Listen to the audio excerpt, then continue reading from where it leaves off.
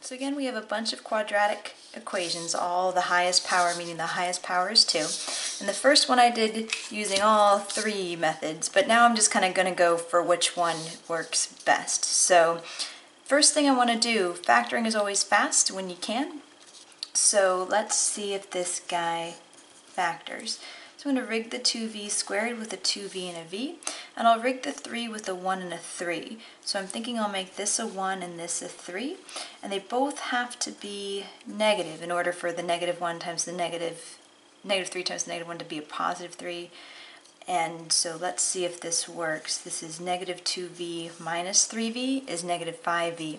So this will FOIL out correctly. So uh, either 2v minus 3 equals 0 or v minus 1 equals 0 by our zero product property. If two things are multiplying together, one of those factors has to equal 0 uh, if they have to multiply to make 0.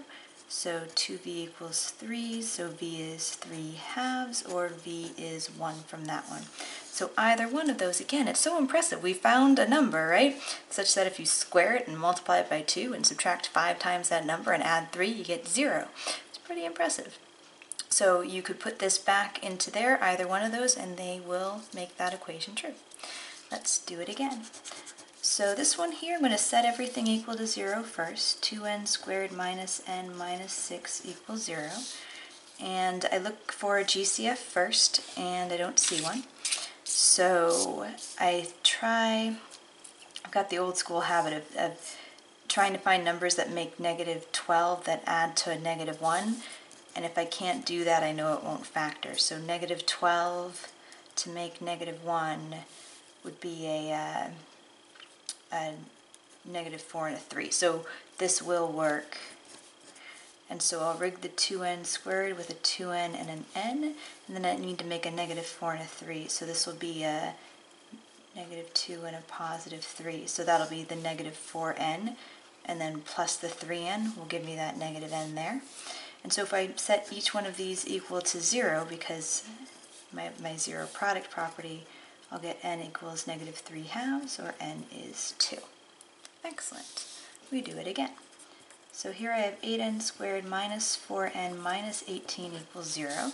So I want to factor out a greatest common factor first, GCF first always.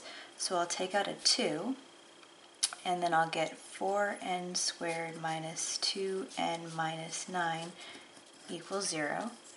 And I'm looking quickly to multiply to make negative 36, add to negative 2. Is that going to work for us? Negative 36 to make negative 2? Hmm. I don't think that's... Yeah, that's not happy. So, um, so we try, we would try to factor this and it's not going to work. So usually what I do after that is I go straight to my quadratic formula. That 2 that I pulled out doesn't matter in an equation because I can divide both sides by 2 so that those two cancel and then 0 divided by 2 is just 0. So let me take another sheet of paper out and do this uh, 4n squared minus 2n minus 9 equals 0 and I'll do it with quadratic formula. So remember my quadratic formula, I should have written it over here, is x equals negative b plus or minus the square root b squared minus 4ac all over 2a. And so my x will be negative b, so a positive 2 plus or minus the square root b squared minus 4 times a, which is 4, times c, which is negative 9 all over 2 times a, which is 4. And so this is 2 plus or minus, let's see, geez, so 16 times 9 is 144, and that's positive 144 because the negative and the negative make a positive. So that's 4 plus 144 is 148. So 2 plus or minus the square root of 148 all over 8. And then we have to simplify that square root if possible. So 148 breaks down to 2 and 74, getting lazy today, which is uh, 2 and 37. So I've got a pair of 2's that come out and the root 37 stays inside. So 2 plus or minus 2 root 37 all over 8. So this would be like 4 times 37, right? Which is root 4 times root 37, which is 2 root 37. And I've got another uh, thing on simplifying radicals. And so usually uh, when you get to this point, if you can do uh, magic triangle style to uh, divide all those, don't forget that this is a 1. 2 divided by 2 is 1. Don't lose him uh, root 37 all over 4. I do it quickly there because it happens so often, but you never want to forget it's because you're factoring that 2 out. 1 plus or minus root 37 over 8, and only when you factor can you cancel, and that's why that's happening there. All right, that was a fun detour. Let's keep going. So this guy here, number 9 now, we've got 10x squared minus x uh, plus 9 equals 0. So we want to see if that factors. Quick check if I can find things that multiply to make 90 that add to negative 1. It'll work. So multiply to make 90, add to negative 1. Yeah, that's going to be a negative 10 and a 9. So I know it's going to work. So maybe I'll rig the 10x squared with a 10x and an x and I'll rig the 9 with a 1 and a 9. So, and then the last, so I'll make sure I add to negative 1 in the middle.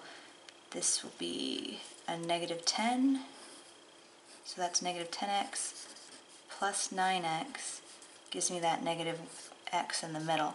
And so this uh, factoring works. Hooray. You could FOIL it out and it works nicely.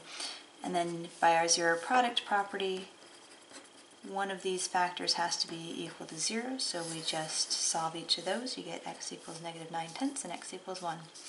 So factoring works nicely. If we do enough, we get comfy with it. So this one, 3a squared minus 6a plus 3 equals 0. Always want it set equal to 0 first. I'm going to factor 3 out of here. 3 times a squared minus 2a plus 1 equals 0 and this will factor more. If I do an a minus 1 and a minus 1 equals 0, uh, that's completely factored. And I know that if this times this times this equals 0, then one of these factors has to be 0. So either 3 equals 0, a minus 1 equals 0, or a minus 1 equals 0. But 3 never equals 0, so I'm not getting any solution from that. In fact, I could have just divided every both sides by 3 and it would have gone away from that side anyway. Uh, so our only solution is a equals 1. A lot of students like to do interesting things here and they think 0 is a solution or 3 is a solution, but it's not. And if you get really confused, you can just plug it back in, see if it works, and it will not. So just the a equals 1 works for that guy. And I think the rest are going to be the same. Let's see. Just keep going. So we got 9x squared minus 6x minus 11 equals 0. Check to see if it factors things that multiply to make negative 99 that add to negative 6. Uh, yeah. Thinking a 9 and 11, but that's not going to work. Uh, and I think everything else is not happy. So let's check real quick. Yeah. So when you see those quadratic uh, form answers or those radicals in your answer, the thing didn't factor nicely. So I'm going to go ahead and do quadratic formula for this guy. So 9x squared minus 6x minus 11 equals 0. And again, you can use quadratic formula for anything. It's, it's pretty brainless just plugging in to those guys. And it's any, any equation of this, any quadratic equation of that form, the solutions will be in that form. So uh, even if it did factor and you just missed it, this would work. So I'll just plug it in, uh, negative 6, so that's negative b, so the opposite of b, plus or minus the square root, b squared, minus 4 times a times the c, all over 2 times a. So we have 4 times 9 times 11, 4 times 9 times 11 is 396, and that's negative negative, so it's positive 396. So it's 81 plus 396 in there. Lovely. So we have 477. So it's 6 plus or minus the square root of 477 all over 18. So your next question is like, okay, well, does 477 break down anymore? And I think it does. So actually, instead, let me show you, it's kind of fun. So you have 81 minus 4 times 9 times 11. I'm just going to make that minus minus a plus. So instead of making this bigger just to break it down again, what if we did this? What if I saw that, hey, those are both, I could take a 9 out of both of those. Maybe I can factor this thing. So that's 9 plus 4 times 11. And so now I can see that that 9 is going to be able to come out of the square root. So, and there's nothing I can do there right now. So this is 9 times 44 plus 9, 44 plus 9. Why is this, is uh, 53.